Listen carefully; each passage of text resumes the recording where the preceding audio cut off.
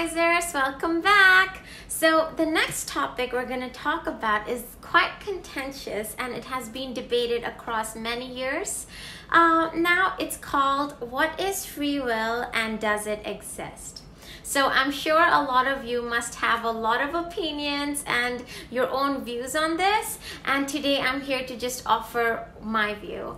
And it's based off of a lot of uh, research I've done in the past, as well as a lot of lectures I've attended by these um, spiritual leaders and monks, especially from the Hinduism, uh, the Vedanta school of thought, which is like the most, one of the most ancient philosophies uh, that we have uh, we can come across from the Indus Valley civilization.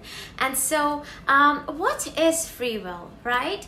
Uh, to define free will in, in simple words is basically the ability to make uh, choices freely, right? And so when we think about whether or not free will exists, well, if you think about it, it does exist because the fact that I make the very choice to to come here and speak to you, that itself shows that I'm a free person. I have the choice to make certain um, to take certain actions that I like, and I do it. So of course, free will exists, but to what extent is the real question.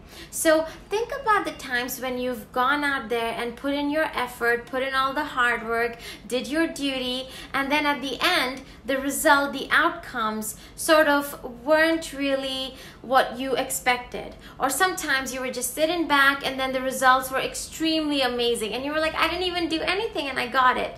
And so uh, something that we come to realize is that yes, the the the choices we make in our lives is definitely in our hands. However, they are limited. For instance, the outcome of our choice, the results are never in our hands. So, here I want to introduce you to two different books that I find my inspiration, one of my inspirations from, and um, here it goes.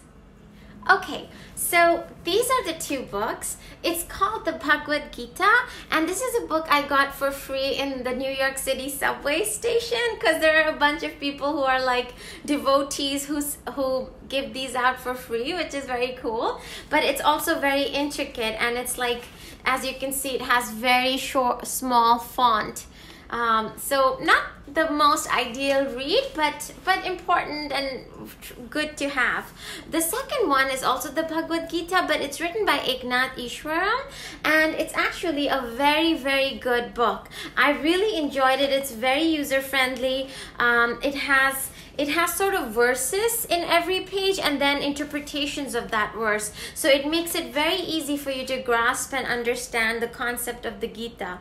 Um, I will make another video specifically going into what the Bhagavad Gita is. It translates as a song of God, and uh, but it's mainly philosophy about your about human nature, human self, and the intrinsic parts of us. And so one of the most uh, important lessons in the Bhagavad Gita that's learned is that um, as human beings, it is our duty to do our due diligence. The, the outcome, the fruit of our labors is never in our hands. And so it kind of suggests the idea of free will, right? So you, you can do whatever you want, it's up to you. It definitely you have free will there, but it's only to a certain extent. Um, when it comes to results and outcomes, then to a certain extent is only that we can control it. Uh, and so a lot of people who find themselves in recurring patterns in their life or they're attracting, let's say, um, not very good experiences or they're attracting very good experiences. So these are all like ideas um, that might sort of um, help you understand free will.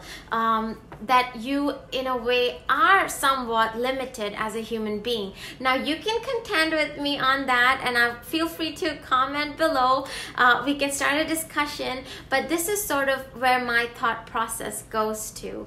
Um, for instance, and there's nothing wrong with being limited because human beings are everything in life is is limited um, has some form of limitation. Perfection is an ideal right?